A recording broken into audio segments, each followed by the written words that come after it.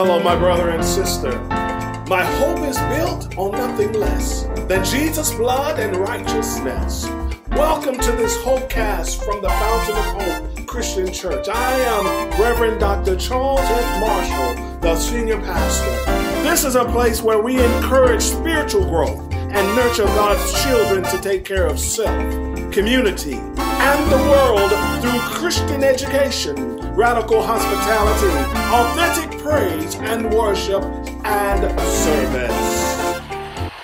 This is the day that the Lord has made, and we should rejoice and be glad in. Welcome to the Fountain of Hope, and we're so glad that you're here with us today. Our prayer is that you are blessed by something today that will encourage you along the way. Let us pray. Lord, we just thank you today for this opportunity to worship. We thank you for the many blessings that you have bestowed upon us this day. How you've kept us yet another week. And Lord, for each of those persons that are joining us, Lord, bless them right where they are. You know their needs. If there is a financial need, Lord, bless them. If there a, a, health need, Lord, bless them. If there is a relationship need, bless them. If there are any other needs that they may have, Lord, touch right now in the name of Jesus. Lord, we just thank you for what you're doing and how you continue to work in us, through us, and around us. Lord, we just thank you for all your many blessings we ask. In Jesus' name, amen. Amen. We want to share with you a scripture today that is coming from the book of Psalms. Yes, yes, yes. The book of Psalms. It is coming from the 17th division, beginning at the first verse, where it reads, Hear me, Lord, my plea is just. Listen to my cry. Hear my prayer. It does not rise from the deceitful lips. Let my vindication come from you. May your eyes see what is right. Through you, probe my heart. Though you examine me at night and test me, you will find that I have planned no evil. My mouth has not transgressed. Though people tried to bribe me, I have kept myself from the ways of the violent through what your lips have commanded. My steps have held to your paths. My feet have not stumbled. I call on you, my God, for you will answer me. Turn your ear to me and hear my prayer. The word of God for the people of God. Thanks be to God. Amen. And now we just want to share with you a moment. Here, enjoy.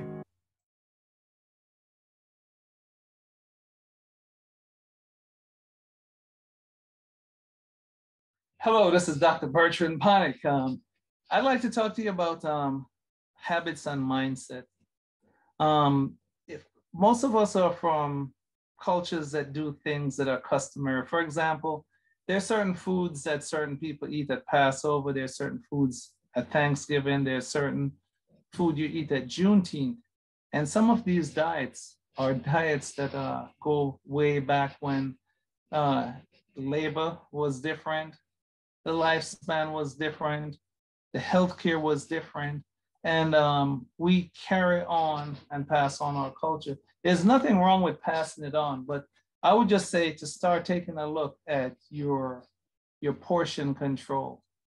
You know, it's very. I know there's a lot of food that are really, they really taste good, but you don't have to gorge in them. You could just taste them and have a good memory about that. Because what ends up happening is those type of diets. Sometimes some of them promote earlier onset of your diabetes. Some of it is genetic, yes, but you can have earlier onset because of your habits. And also, if you bear in mind that uh, larger portions should also come along with uh, increase in, in your exercise regimen because uh, that means you have more caloric intake, you need to burn more. For example, if you're training for a half marathon or a marathon, you might do something called carbohydrate loading. Carbohydrates aren't all bad. And some of us right now, we we tend to have a diet that's more meat based just because the protein diets have really gotten popular. But I would, uh, I would, I would urge us to take a look at the Levitical diet. Leviticus 11 has a lot of those recommendations. And the reason why I'd like to recommend it is I'd like for you to look up the blue areas in the world. There's an island off Japan, and um, there is only one place in the United States that has the blue area. The blue area is where people live a longer life. Their lifespan is about 10, 15, or 20 years longer than the normal population. Now, if you look at the Hebrew diet as they were wandering through uh, on their way from Egypt to the promised land, you would notice um, that it didn't include a lot of the things that's common in our diet. And it's not a matter of going to heaven or hell necessarily, but it's just there's less allergic reaction. For example, uh, it doesn't promote shell shellfish. Well, there's nothing wrong with shellfish, and it's pretty delicious. But uh, over overindulgence uh, will will also promote um, cholesterol problems.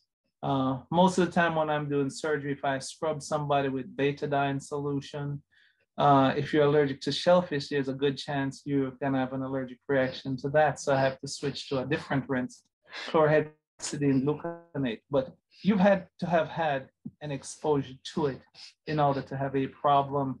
So I just want you to keep some of those things in mind.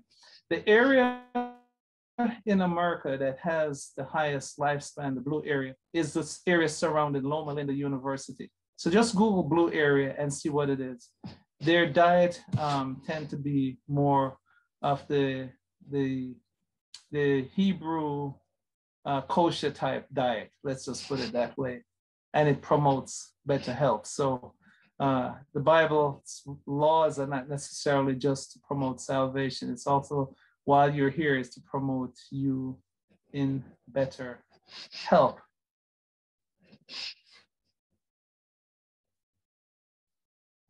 The last thing I want to talk about is, hi, this is Dr. Bertrand Bonnick.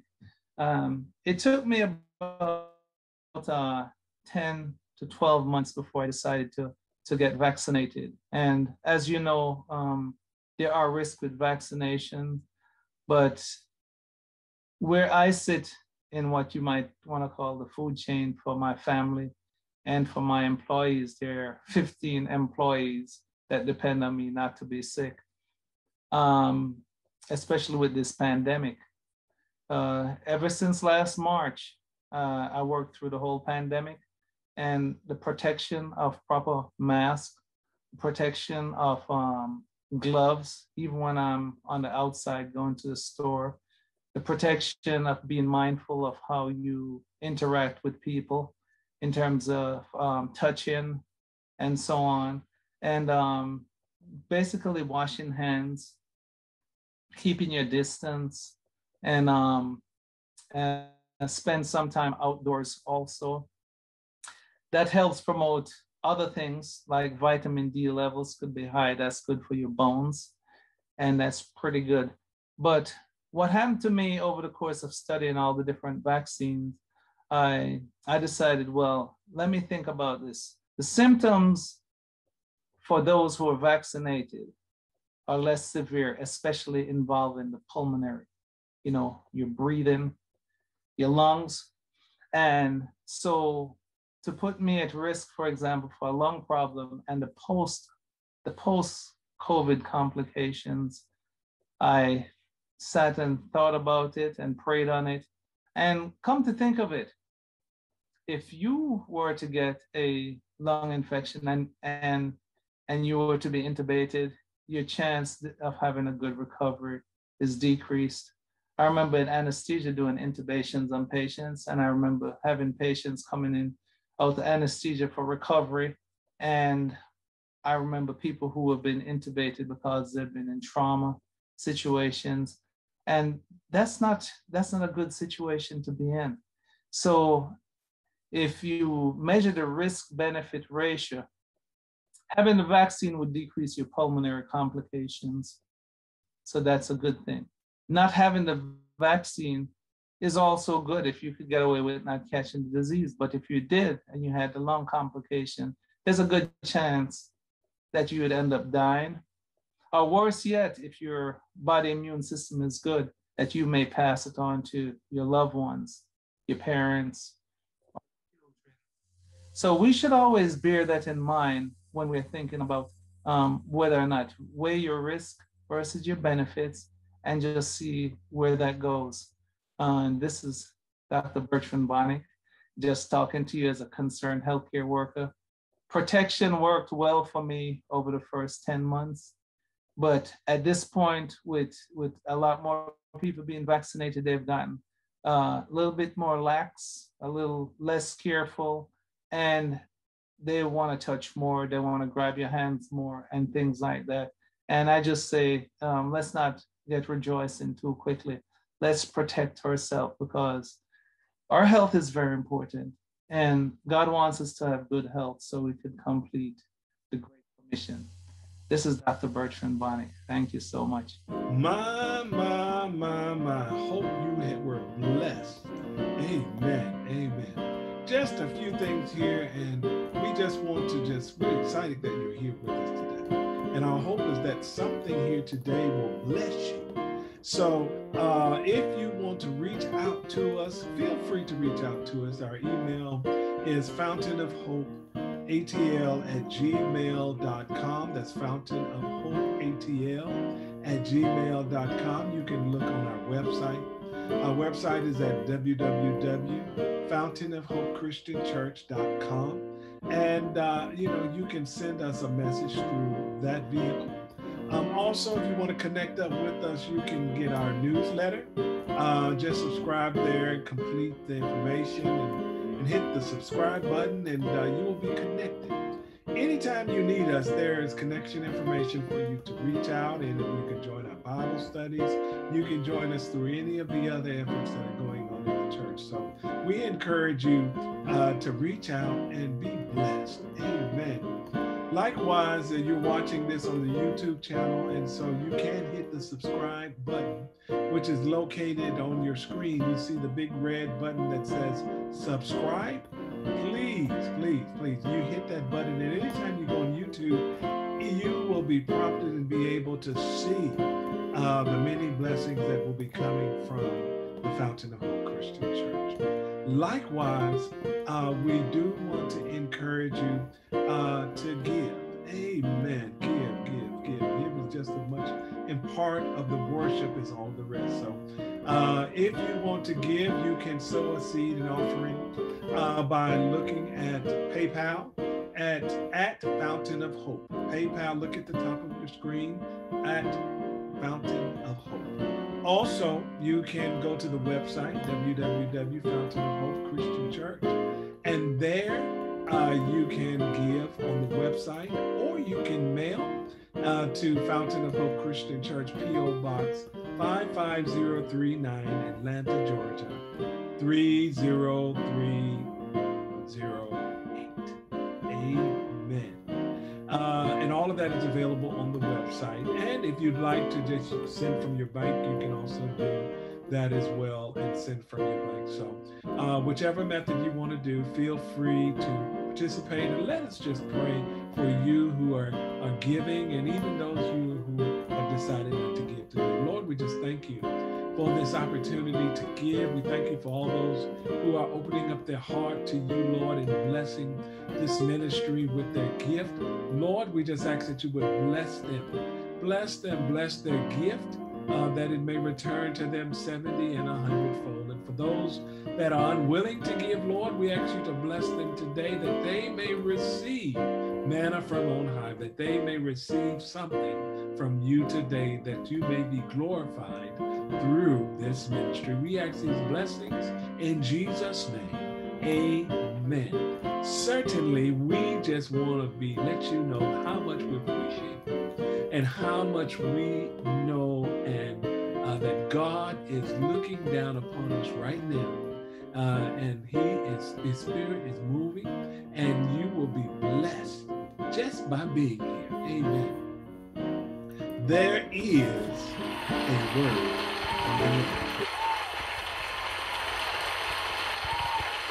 If you would look in the book of Acts, the 12th chapter, let us pray. Lord, we just thank you for this opportunity to be able to to be your vessel. Lord, let me decrease that you might increase. Let the meditations of my heart be acceptable in your sight, Lord, that your people may be encouraged, that your people may be empowered, and that your people may hear you through me today. Lord, we just thank you and praise you for all that you're doing. We ask these blessings in Jesus' name. Amen.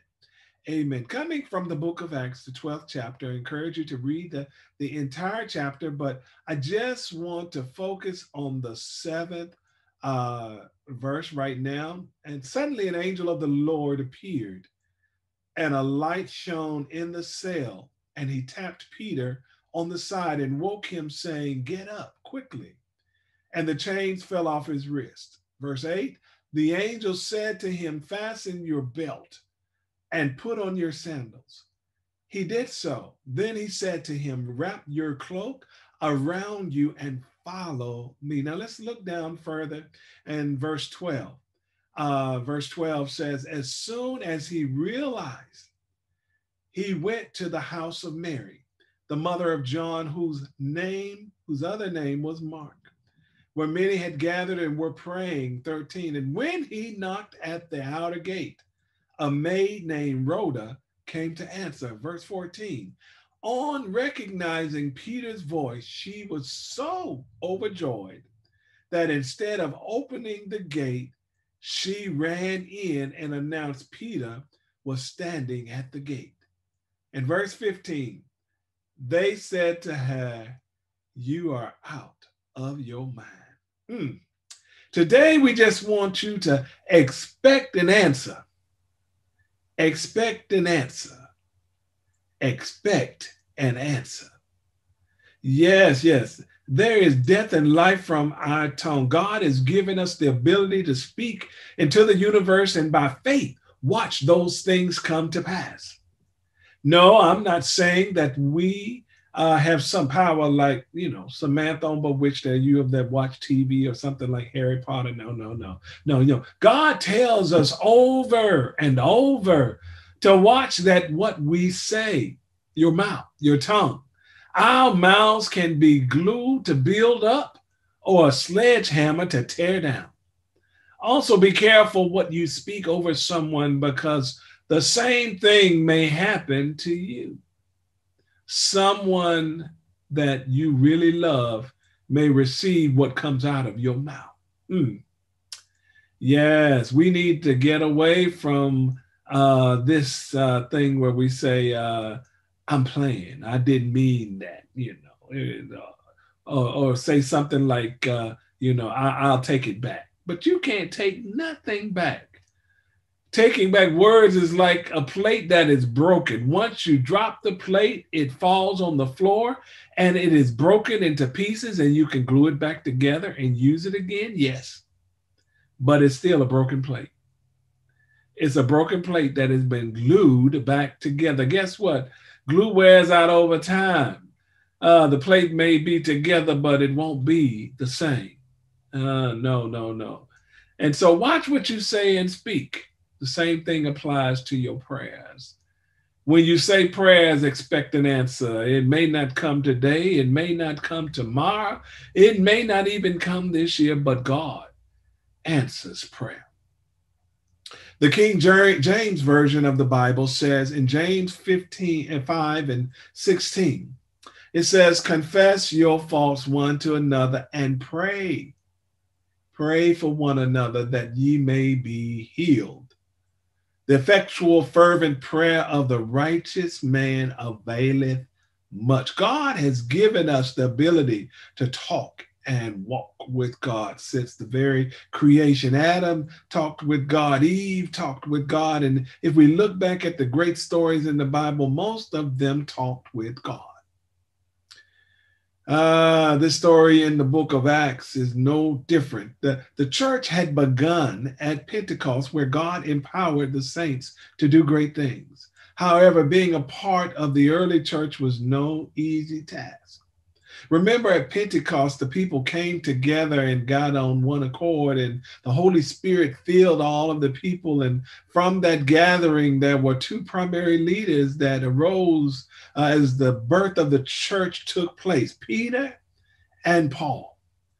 Some people followed Peter, and other people followed Paul. So people were beaten, they were mistreated, they were imprisoned, they were even killed for being a part of the church.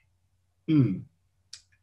Yeah, yeah, we are blessed today because we don't deal with that magnitude in America. But there are those around the world that are still experiencing that. And, and King Herod had killed James, the brother of John, at the same time. He put Peter in prison with the intent of making an example of Peter. Uh, when Peter was arrested, the church began to pray for Peter. Mm, the saints got together and started calling on the name of the Lord. What would happen if more of the saints began to pray instead of getting on Facebook and putting all the stuff that you put on Facebook? What would happen if we prayed instead of tweeting? What would happen if we prayed instead of texting? Uh, telling everybody the bad news instead of praying about the person who is experiencing bad things. What would happen in this world if more people began to pray about North Korea, pray about healthcare legislation, pray about uh, the COVID situation, pray about inequities, pray Acts 12 and 5 says the church prayed without ceasing.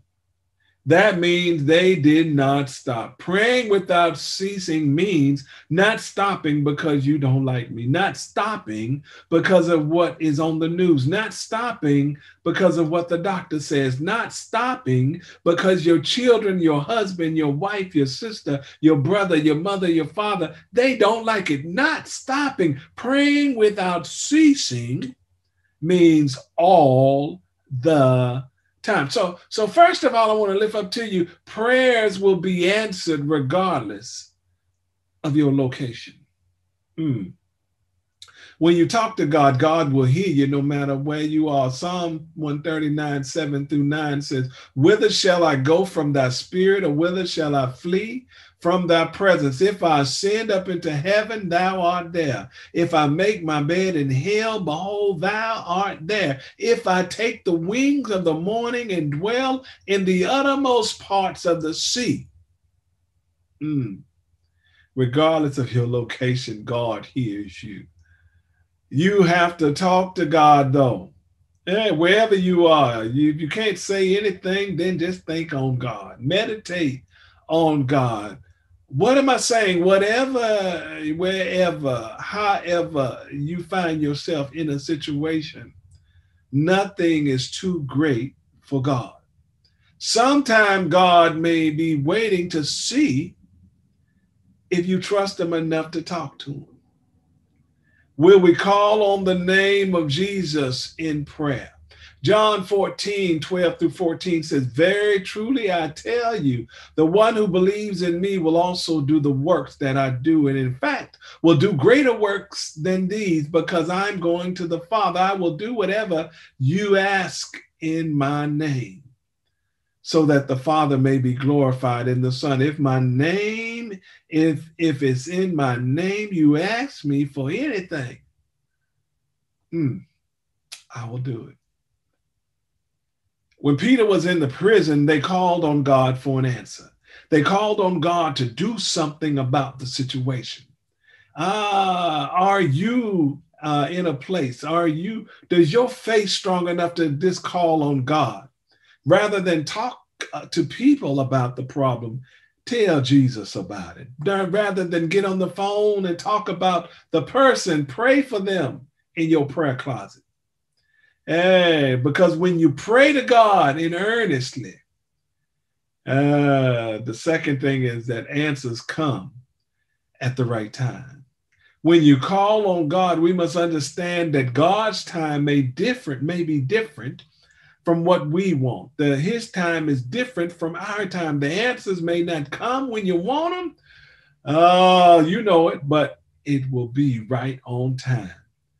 Also, we must understand that the answers may be yes, they may be no, and sometimes they may be wait. Oh, some of y'all don't like that. No, no, no. Sometimes you just got to wait on God.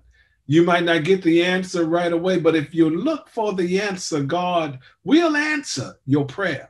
See, when David was being chased by Saul to kill him, David called upon the Lord and God heard him and answered him.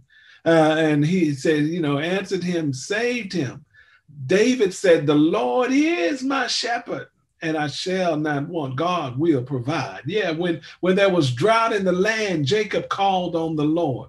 And God provided water when there was none. God will provide. When, when God answers a yes, guess what? It's a done deal. Ask the soldier whose daughter had died, but Jesus raised her from the dead. Ask the man who was possessed by the demon. When Jesus cast the demons out, the man was made whole. Sometimes the answer, though, is no.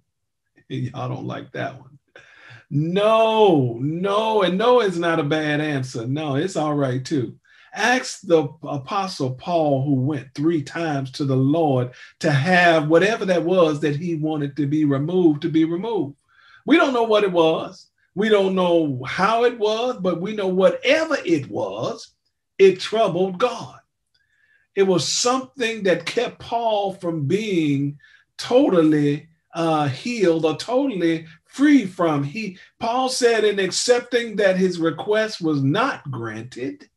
Y'all heard that, right? Not granted. He learned that God's grace is sufficient. Sometimes that no is keeping you from being in a place where you can get hurt. Sometimes that no is keeping you out of a relationship that is bad for you. Sometimes that no is putting you in a, a job, keeping you from that job that will, will hurt you and literally may even kill you. And when God gives you a no, sometimes God doesn't grant our request because God knows the best things for us.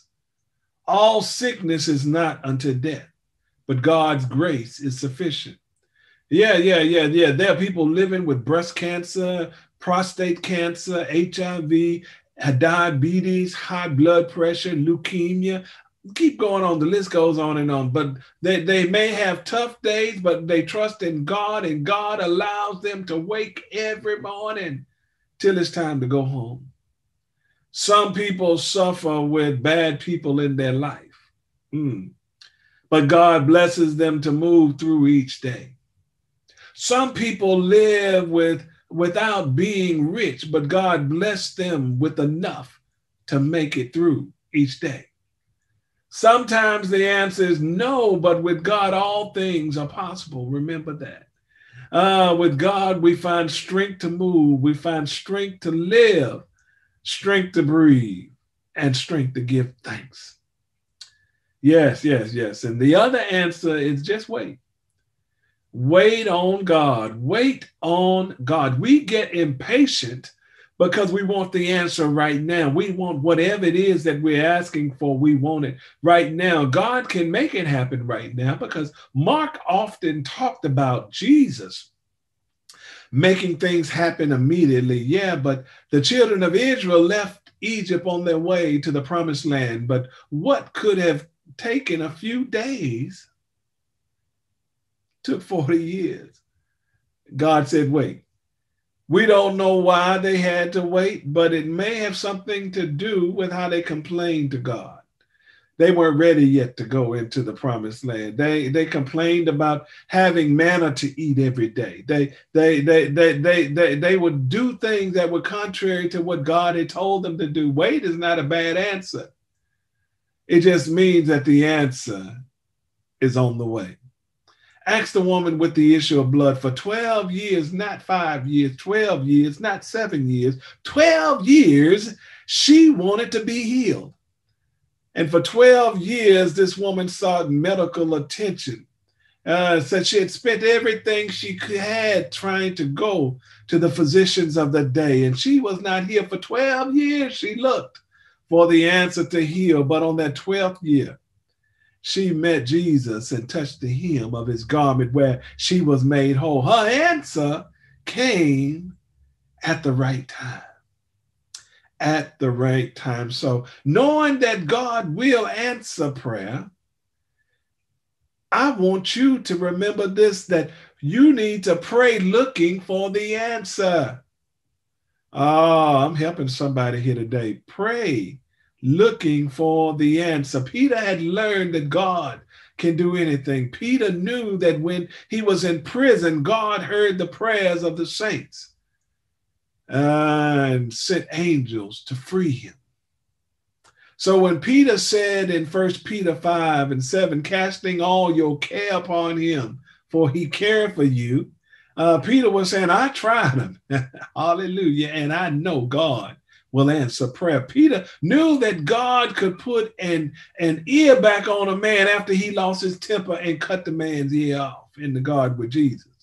Peter knew that God could calm the sea and allow a man to walk on the water. Peter remembered when he was with Jesus and saw Jesus walking on the water and asked Jesus if he could come out to meet him. You remember the story. Jesus bid him to come, and Peter walked on the water as long as he kept his eyes on Jesus. Oh, remember that. As long as he kept his eyes on Jesus, Peter remembered, and, and when he took his eyes off Jesus, he sank in the water. But but even when he sank, Jesus was there to grab his hand. What am I saying? Praying, looking for an answer. Keep the faith and keep praying. Cast all your care upon him, for he cares for you. Peter remembered that when they had fished all night long and didn't catch anything, and, and the answer came to, to cast the net on the right side of the boat. They, they caught so many fish and struggled to bring them in. Mm. Cast all your cares upon him, for he cares for you. So when Peter found himself in jail, in prison, the church began to pray.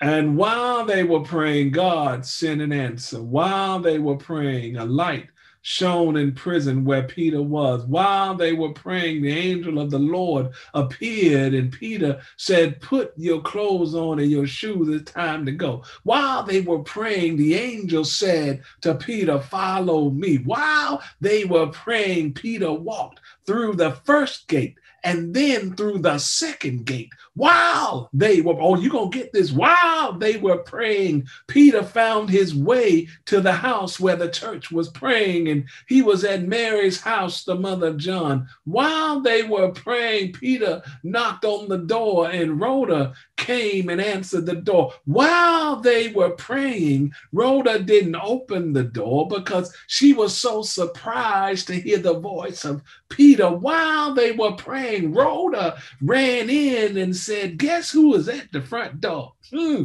hallelujah. Peter kept on knocking while they were praying.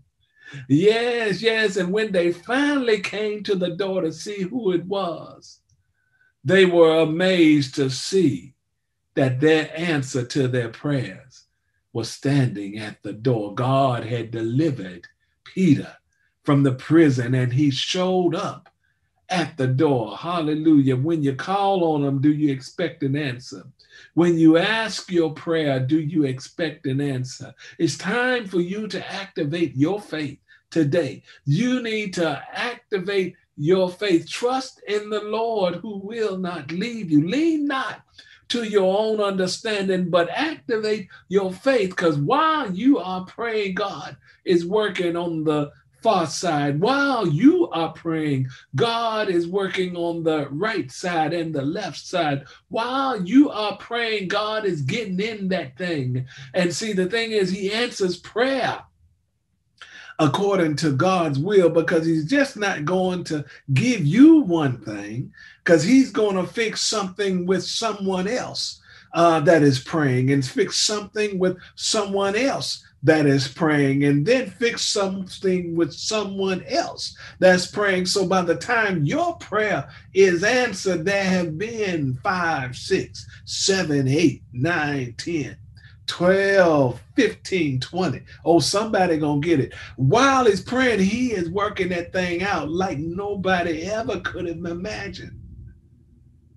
Expect an answer to your prayer. May God bless you and may God keep you, is my prayer. Let us pray for you. For those of you who are, are, are trying to turn your life over to Jesus today, Today, Jesus is saying he heard you. And this is the time to say, I yield. I turn my life over to Christ. Oh, Heavenly Father, for these that are turning their life over, Lord, we pray for them. Bless them. Keep them. Strengthen them as they go on this new journey, Lord. Walk with them. And Lord, connect them up with someone to help them along the way as they turn their lives over to you. And for those that have already turned their lives over, Lord, we ask that you would bless, strengthen, and keep them on their journey as they continue to trust in you, reminding that you hear them, you're with them, and you are for them. Lord, we just thank you for all you do. We ask these blessings in Jesus' name. Amen.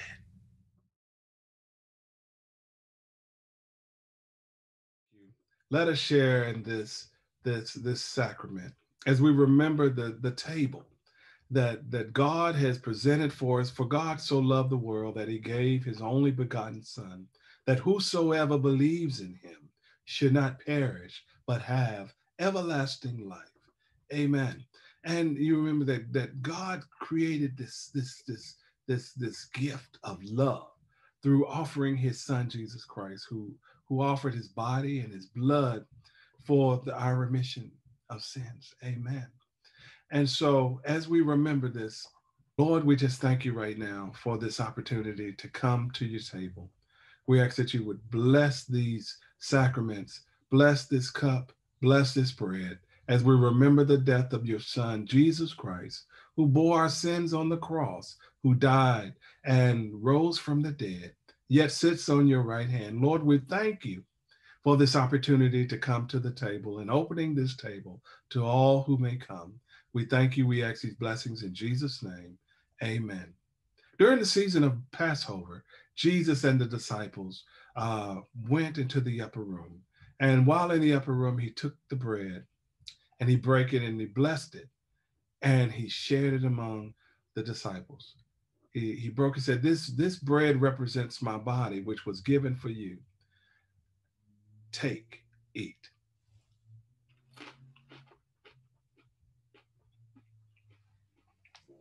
Likewise, he took the cup and he blessed the cup.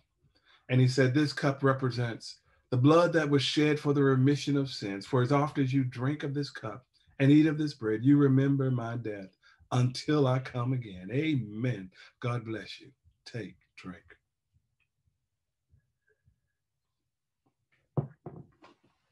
Amen. May God bless you as you remember this, this great gift of love that God gave through his son Jesus Christ to the world, to you and to me. Thank you, and may God bless you. Thank you for joining us today in this cast. Our prayer is that something was said that will bless you and strengthen you as you make your journey. If you want to join us or need us, reach out to us. Go to www.fountainofchristianchurch.com. Now unto him who's able to keep us from falling and to present us before his throne with exceeding joy. To the only wise God, majesty, dominion, and power, may He bless you